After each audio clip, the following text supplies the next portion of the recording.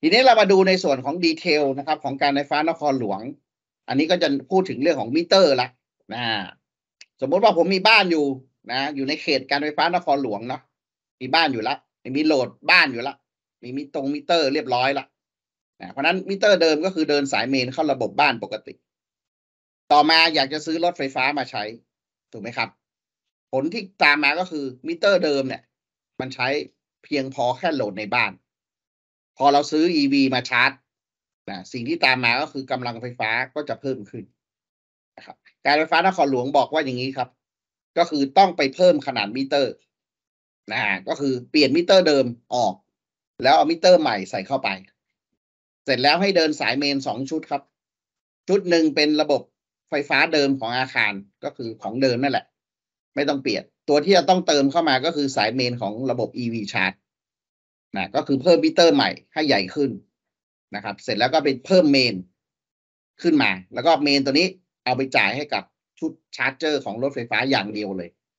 เดินระบบแยก ตอกสายดินแยกนะมีอุปกรณ์ป้องกันแยกนะครับ RCD Type B แยกออกมาเลยนะแล้วก็ไม่ปะปนกับไฟในบ้านนะเพราะนั้นการไฟฟ้านครหลวงอนุโลมให้ไปขอมิเตอร์ใหม่ เพิ่ม นะก็คือเปลี่ยนมิเตอร์แล้วก็เดินสายเมนเพิ่มนะครับ แล้วก็ขนาดมิเตอร์ก็ให้เหมาะสมกับการทำงานร่วมกันของไฟบ้านกับมิเตอร์ หรือว่าตัว charger ที่เราจะเอามาใช้ แล้วก็ต้องมาดูว่ากำลังวัตต์ที่ใช้รวมเนี่ยเป็นยังไงนะครับ แล้วก็ไปเลือกมิเตอร์ให้มันเหมาะสมนี่หรือถ้าเกิดเฮ้ยมันพออยู่แล้วนะบ้านผมมิเตอร์ใหญ่อยู่แล้ว อันนี้ก็เป็นเคสที่มิเตอร์เขาเพียงพอเนาะเพราะนั้นถ้ามิเตอร์เพียงพอก็ ไปเพิ่มเบรกเกอร์เข้ามานะครับ แล้วก็เพิ่มตัว RCD เข้ามา ซึ่งจะเป็น RCD Type B นะครับ ป้องกันไฟรั่วที่ 30มิลลิแอมป์นะเป็น Type B นะครับนะปัญหาตัวนี้ Type B ค่อนข้างจะหายาก แล้วก็มีราคาสูงนะครับ แล้วก็ไปตั้งเป็นซ็อกเก็ตใช่ไหมครับ ถ้าเป็นลักษณะของไทอ่าโหมดสองใช่ไหมโหมดสองก็เสียบชาร์จเลยนะถ้าเป็นโหมดสามเป็นวอชาร์จก็ไปตั้งวอชาร์จก็ไปทำภายใต้มาตรฐานวอชาร์จ แล้วก็มีการจะตอกหลักดินเนี่ยแล้วแต่นะครับ จะสามารถเป็นหลักดินที่เป็นลักษณะของอ TT system หรือ TNCS system ก็ได้นะครับ เดี๋ยวค่อยไปดูในส่วนของการเดินสายดินอีกทีว่าจะเดินยังไงนะครับ อันนี้สามารถเป็นรูเสียบเป็นซ็อกเก็ตก็ได้ ก็ต้องมีมาตรฐานว่าซ็อกเก็ตจะต้องมีมอกนะ มาตรฐานเป็นยังไงและลักษณะของการที่มันมีเพียงพอ ก็สามารถทำได้นะแยกเบรกเกอร์ออกมาตั้งเบเกอร์ไทป์ B เป็น RCD ได้ นะครับ อันนี้กรณีที่มิเตอร์มันเพียงพอนะครับนี่ไหมครับ กรณีเพียงพอก็ไปตั้งเบเกอร์เพิ่มนะครับ แล้วก็ใส่ RCD Type B เข้าไปนะต้องย้ำนะเป็น Type B นะครับ พิกัดการตัดน้อยกว่า 30 นะครับ จริงๆมันจะมีข้อหมายน้อยกว่าเท่ากับ 30มิลลิแอมนะครับ เป็นตัวป้องกันมาตรฐานมก 295ขีด2562 นะเป็นมาตรฐานที่ออกมาไม่ไม่กี่ปีนี่เองนะสังเกต 2562 นะครับ อันนี้กรณีที่เป็นสายชาร์จพกพานะก็คือลักษณะแบบนี้นะครับเป็นตั้งเป็นเบเกอร์ Type B นะแล้วก็ค่อยไปเข้าที่เต้ารับ อันนี้กรณีที่ใช้เป็นระบบโหมดหนึ่งหรือโหมดสองเนาะก็คือเสียบปลั๊กเสียบชาร์จนะครับ อันนี้เขาเดินสายดินแยกไปเลยเห็นไหมครับ สายดินก็แยกออกมาเลยถ้าเป็นระบบ TT นั่นเองนะสายดินแยกเขาเรียกว่าระบบ TT system นะครับสายดินของระบบบ้านก็เหมือนเดิมนะแต่ว่าเราตั้งตั้งเบเกอร์นะครับเพิ่มเข้ามา 16 แอมป์แล้วก็เดินสายไม่น้อยกว่าเบอร์ 2.5 นะครับ อันนี้ก็คือ เพราะว่าโหมดหนึ่งโหมดสองไอไฟมันใช้ไม่เยอะอยู่แล้วนะครับ ก็เลยไม่ต้องใช้ใช้จำเป็นต้องใช้เบเกอร์ใหญ่ ไม่ต้องจำเป็นต้องใช้สายขนาดใหญ่นะครับการติดตั้งต่างๆ ก็ตามภายใต้วสทเนาะ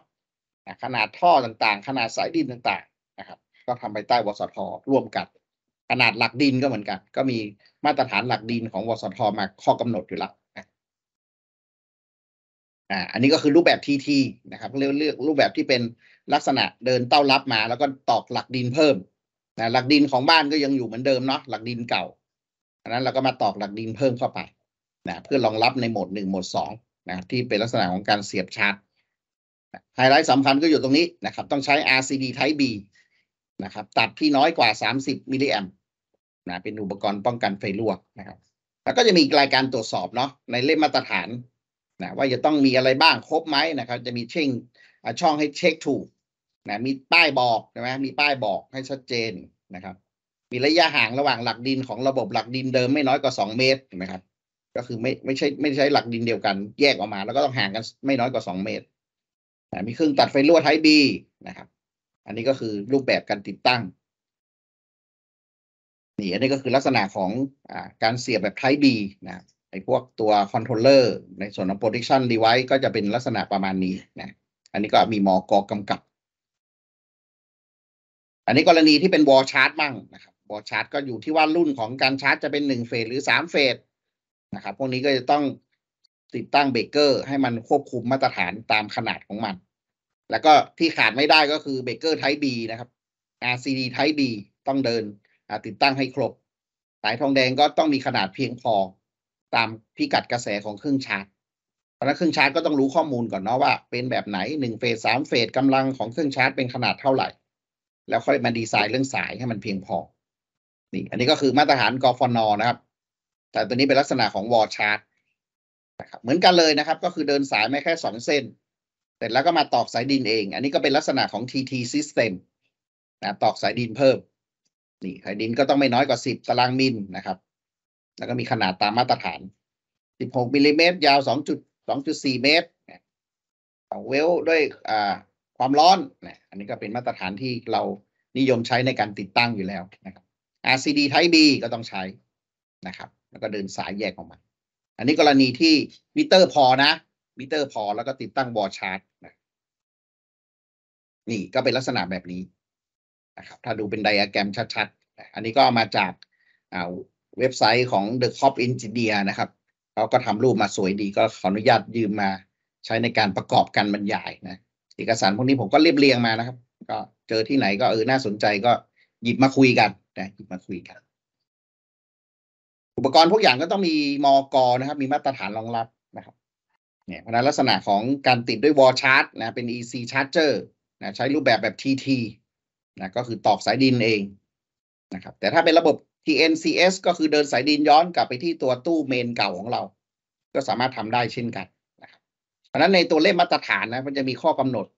ข้างในค่อนข้างเยอะนะครับแล้วเราจะติดตั้งแบบไหนก็ต้องคงเข้าไปดูในรายละเอียดอีกทีหนึ่งว่า แต่ละตัวก็ต้องเดินสายยังไงนะครับนี่อันนี้ก็เป็น TNCS นะก็คือเป็นระบบที่เราคุ้นเคยที่เราติดตั้งระบบกันทั่ว ๆ ไป สังเกตว่าจะไม่มีแท่งกาวตรงนี้นะครับ ก็คือเดินสายดินแล้วย้อนกลับไปที่บาร์กาวของระบบไฟฟ้าเดิมของเรา อันนี้เขาเรียกว่าระบบ TNCS นะครับความต้านทานของระบบตัวนี้ก็จะต้องเช็คด้วยนะครับนี่ความต้านทานตัวนี้ต้องมาเช็คใหม่นะครับ หมายความว่าถ้าเกิดคุณติดตั้ง EV charger เข้าไปในระบบ ค่าดินตัวนี้ต้องมีการตรวจสอบนะมาตรฐานกำหนดเอาไว้ว่า ถ้าคุณใช้มิเตอร์ตัวนี้สิบห้าสี่สิบห้า ความต้านทานดินต้องสองจุดห้าจากเดิมเนาะถ้าเป็นจากเดิมเนี่ยก็คือห้าโอห์มกลายเป็นว่าถ้าคุณใส่ชาร์จเจอร์ของ EV เข้าไป ค่าดินคุณต้องทำให้ลดกว่าสองจุดห้านะครับ หรือถ้าคุณใช้มิเตอร์สามสิบวงเล็บร้อย ค่าดินนู่นเลยหนึ่งจุดสองห้าเลยนะเพราะนั้นก็ต้องมีการขนานหลักดินหรือทำอะไรก็แล้วแต่แหละ ให้ค่าความต้านทานนี้ผ่านมาตรฐานนะแต่ถ้ามิเตอร์ใหญ่กว่านี้ก็คือไม่ได้แนะนำให้ใช้นะครับ ก็คือแนะนำให้ใช้มิเตอร์แค่สองรุ่นสิบห้าสี่สิบห้ากับสามสิบวงเล็บร้อยนะอันนี้ค่าดินก็ต้องมีการปรับปรุงนะอันนี้ก็คือรูปแบบของ wall charge เนาะ wall charge ก็มีมอกมีมาตรฐานทีนี้ในข้อกำหนดของการขยายมิเตอร์ของนครหลวงเมื่อกี้ใช่ไหมครับ มันก็จะมีรูปแบบก็คือเป็นหนึ่งเฟสหรือว่าเป็นสามเฟสนะเพราะนั้นถ้าเป็นหนึ่งเฟสคุณจะเปลี่ยนมิเตอร์เป็นสามสิบวงเล็บร้อยก็คือมิเตอร์ที่แนะนำนะ ซึ่งทั้งนี้ทั้งนั้นก็อยู่ที่ไฟฟ้าเดิมของเรากับตัวชาร์จที่เราจะเอามาใช้นะเพราะนั้นถ้าเขาแนะนำเขาจะเฮ้ยเปลี่ยนมิเตอร์เป็นหนึ่งเฟสสามสิบวงเล็บร้อยเลย ซึ่งมันจะรองรับรองรับ wall charge ได้ขนาด 4.7 กิโลวัตต์หนึ่งตัวนะหนึ่งชุดนะนะหนึ่งชุด ถ้าสองชุดก็อาจจะต้องต้องไปใช้สามเฟสแล้วล่ะนะซึ่งถ้าเป็นสามเฟสก็ต้องเปลี่ยนสายเมนเพิ่มนะแล้วถ้าเป็นมิเตอร์สามเฟสสามสิบวงเล็บร้อย อันนี้จะรองรับ wall charge สามเฟสได้ขนาด 22 กิโลวัตต์ได้หนึ่งตัว ในทั้งนี้ทั้งนั้นก็อยู่ที่ชนิดของ wall charge ที่เราจะเลือกเอามาใช้นะครับอันนั้นไม่ว่าจะเป็นอะไรเบรกเกอร์ไฟรั่ว Type B ก็ยังต้องใช้นะครับ ตอกหลักดินก็ไม่ใช้ก็แล้วแต่ระบบว่าเราเป็น TT หรือ TNCS นะครับ อันนี้ก็เป็นมาตรฐานของนครหลวงเนาะว่าบ้านของเราเป็นยังไงนี่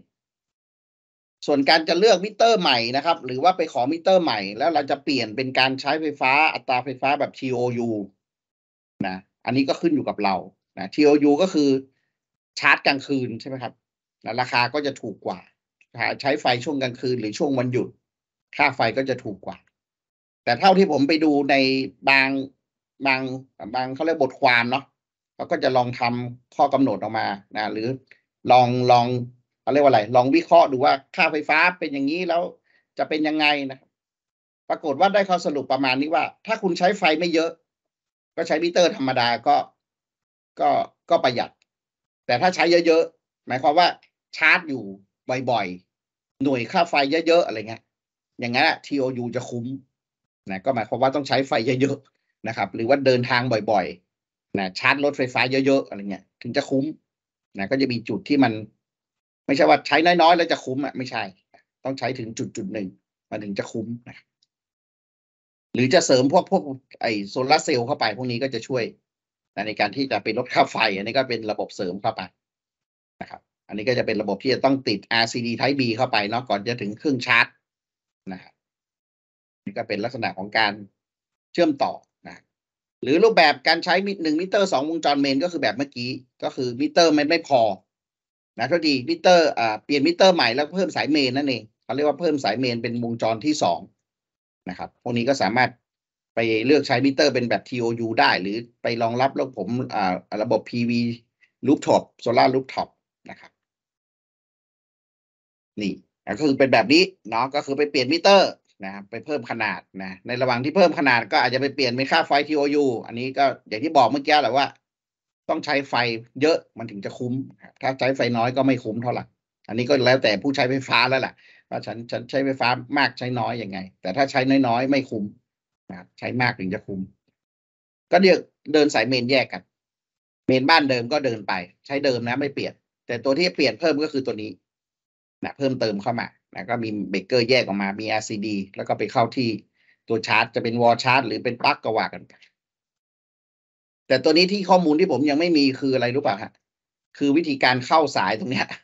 เออ เพราะนั้นถ้าเกิดมันเข้าสายตรงรูตัวเนี้ย มันต้องทำให้แน่นหนาด้วยเนาะ นะเพราะสายมันจะมีสองเส้นอะที่มันจะเข้าไปยัดอยู่ตรงไอ้ขาออกของมิเตอร์นะซึ่งโดยปกติแล้วมันจะเข้าแค่เส้นเดียวนะถ้าเป็นลักษณะของการเข้าสายสองเส้นเนี่ยผมก็เป็นข้อห่วงใยนะ ผมก็ยังไม่รู้ดีเทลว่าอ่าเวลาเขาเข้าสายตรงนั้นอะเขาจะทํำยังไง อาจจะเข้าหางปลาก่อน หรืออะไรก็แล้วแต่ คือผมเป็นห่วงเรื่องความแน่นหนานะเพราะว่าถ้ามันเข้าสายสองเส้นในรูเดียว ปัญหาที่มักจะพบ ก็คือเรื่องความหลวม นะมันจะหลวมนะครับ เป็นห่วงตรงนั้นแค่นั้นเองนะอาจจะต้องมีวิธีการตรวจสอบดีๆหน่อยว่า แน่นหนาจริง ๆ อะไรประมาณนั้นนะครับนั้นข้อกำหนดของการไฟฟ้านครหลวงก็จะมีเพิ่มเติมนิดนึงนะครับ ว่าพิกัดก็ต้องเพียงพอนะ เวลาเราขยายมิเตอร์เดิมเนี่ยอาจจะใช้สิบห้าสี่สิบห้าอยู่ แล้วเปลี่ยนเป็นสามสิบเรียบร้อยนะเพราะนั้นตัวที่เปลี่ยนเข้ามาใหม่ก็ต้องเพียงพอนะครับ มีการติดป้ายด้วยนะครับ ติดป้ายระบุชัดเจนเลยว่าไอ้ตู้นี้เป็นของไฟบ้านธรรมดานะ ไอ้ตู้นี้เป็นของไอ้ไฟอีวีอย่างเงี้ย แล้วก็ห้ามใช้ไฟร่วมกัน หมายความว่า เอ้ย ตู้นี้เป็นของอีวีเอาไฟทั่วไปมาใช้อะไรเงี้ย หรือไปใช้เสียบอย่างอื่นนะ ก็คือห้ามข้ามวงจรกันนะครับ วงจรใครวงจรมัน วงจรในบ้านก็วงจรในบ้าน วงจรชาร์จรถไฟฟ้าก็วงจรชาร์จไฟฟ้าไป อันนี้เป็นภาพของมาตรฐานนครหลวงที่เกี่ยวข้องกับพวกสถานีชาร์จเนาะนะอันนี้ก็เป็นรูปแบบนะสถานีชาร์จนะหรือเป็นลักษณะของเรือใช่ไหมอันนี้ก็คืออย่างที่บอกเมื่อกี้ของนครหลวงเขาจะมีมาตรฐานเกี่ยวกับสถานีชาร์จเรือไฟฟ้าด้วยนะก็คงน่าจะใช้วิ่งในการขนส่งนะฮะในเขตกรุงเทพเนาะก็มีการขนส่งทางเรือค่อนข้างเยอะนะครับ เยอะมากด้วยนะครับ แม่น้ำเจ้าพระยาหรือว่าคลองต่างๆ ในกรุงเทพเนี่ยเยอะมากแนวโน้มของการใช้เรือไฟฟ้าก็น่าจะเพิ่มขึ้น อันนี้ก็เป็นอีกตัวหนึ่งที่ที่ต้องมีมาตรฐานมารองรับนะต้องห่างจากน้ำเท่าไหร่อะไรยังไงเนี่ยก็จะต้องมีนะครับ ผมก็ผมยังไม่ได้ดูโดยรายละเอียดข้างในนะครับแต่ก็ดาวน์โหลดมาดูละแต่ยังไม่ได้ดูดีเทลนะก็คือมันเป็นอะไรที่ใหม่นะครับ เราก็ต้องศึกษาและเรียนรู้ไปร่วมกัน ในส่วนของการดีไซน์ออกแบบมาตรฐานติดตั้งต่าง ๆ นะ